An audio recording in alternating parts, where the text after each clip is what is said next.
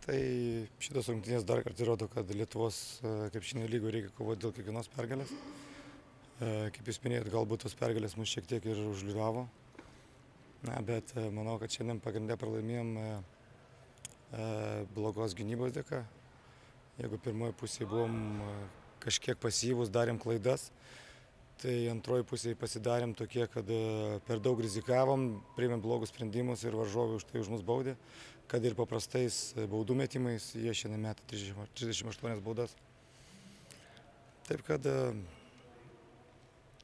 komandos lygiai parodo jos gynybą, tai matom, kurio linkme turim dirbti ir gavom skaudžią pamoką.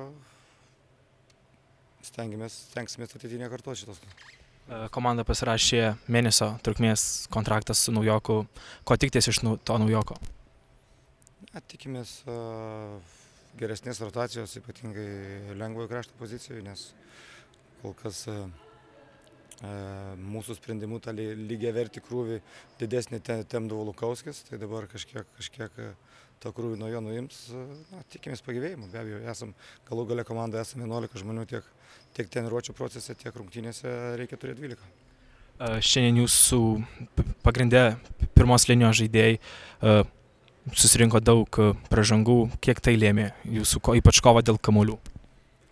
Tai buvo vienas iš faktorių. Jie gana greitai įsibaudavo, reikėjo juos rotuoti ir išsibaudavo, visos tos jų pražangos buvo ar tai pražangos polime, ar tai statant užtvaras, kurios e, e, skaudžiai mums atsiliepė.